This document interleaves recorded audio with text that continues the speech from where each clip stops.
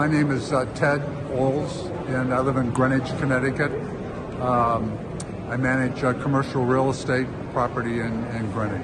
Yeah, and uh, so um, what makes you sympathetic to the Chinese dissidents? Um, well, just the amount of, um, uh, I guess, uh, abuse that the, the people in China are are um, incurring as a result of the CCP there is um, needs to be brought to the attention of the people here in the United States Yeah. of all the things that they're doing to their people and all the things they're they're trying to do to take over other countries in in the world and it needs their uh, their aggression needs to be um, notified or, or exposed to every everyone in the world.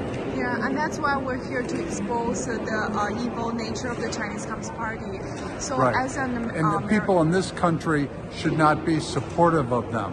Whether you're an attorney, uh, an architect, or anything, you shouldn't be.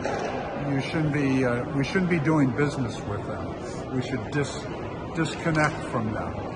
in Yes. the, in the way of the supply chain and everything. We should bring all our pharmaceuticals back to this country. We should bring the manufacturing back to this country. And people in the United States should begin to realize this, yeah. of how, how poorly the people in China are being treated. Yes, thank you. And especially the very prominent law firm because it's very profitable for them to get commercial contracts and deals from the Chinese government.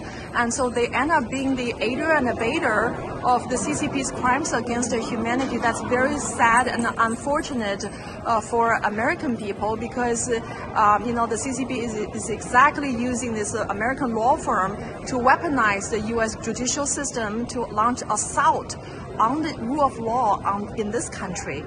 Yes, yeah, exactly. I agree. You're you're 100% right. And and a lot of the of the financial, the hedge funds and the banks here in this country are also supporting doing things the same as the attorneys are and the law firms. And thank you. I know you were uh, kindly, uh, you know, wanting to give a do- donation, um, but we don't accept the donation. We just accept your kind heart for um, heartfelt message.